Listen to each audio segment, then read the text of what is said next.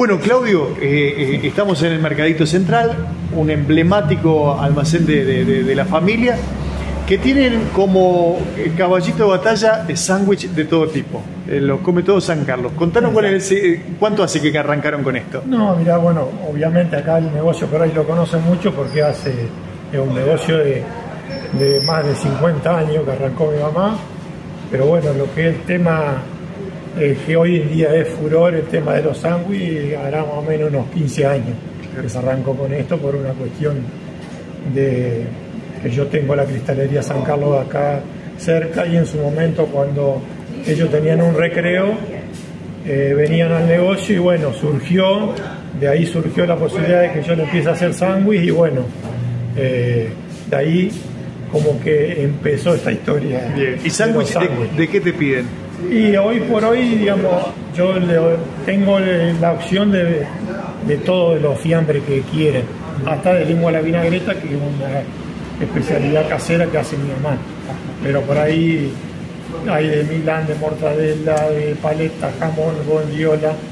Eh, acá en general, digamos, lo, más común o lo que más vende o se consume es el de Milán. El de Milán. Milano, por ahí mortadela también. Pero hoy, ya digo, hoy por hoy es tanta la cantidad o la cantidad de gente que viene que yo le voy ofreciendo la mayoría de los gustos y bueno, es como todo. Hay gente que le gusta la paleta, hay gente que le gusta la bondiola, uno se lo arma, digamos, lo que en realidad quiere la gente. ¿De qué tamaños vienen? Y yo acá, digamos, por ahí eh, tengo, digamos, eh, un pan que es de, para mí uno de los mejores panes que hay acá en San Carlos, que es de la panadería San Carlos. Esto se llama Felipe. Eh, entonces, por lo general lo hacen de dos pancitos, que es así, este tamaño. ¿El secreto es el pan? Y no sé si es el secreto del pan. Por ahí puede haber otro secreto, por ahí hay mucha gente que me dice, yo lo pruebo a hacer en mi casa y no me sale lo mismo. Y yo la verdad que el pan tiene mucho que ver. Obviamente el fiambre también trato de tener una buena calidad de fiambre, pero sí, uno de los secretos es el pan, sin ninguna duda. Pero es como todo por ahí.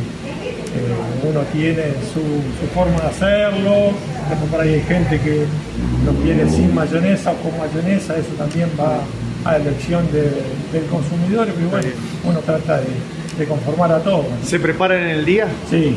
En el acto. En el acto, digamos, eso sí. Es decir, vienen los chicos salen de la escuela, dicen Claudio, haceme uno de. Sí, sí, aparte algo rápido. Digamos, no es digamos sencillo porque hay que tener, digamos, cancha o tener un secreto como para hacerlo, pero es algo rápido.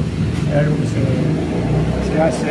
Y gracias a Dios, bueno, hoy por hoy. Eh, no solamente los chicos que vienen y lo consumen, sino que llevo a la, escuela, llevo a la fábrica, eh, después albañiles, plomeros, gente que trabaja, digamos, de corrido, también hoy por hoy vienen y, lo consumen. Con 1.500 pesos zafa el almuerzo. Sí, sí, yo diría que ni hablar. Hasta a lo mejor con 1.000 pesos se llevan un buen sanguchito y, y zafa. Sí.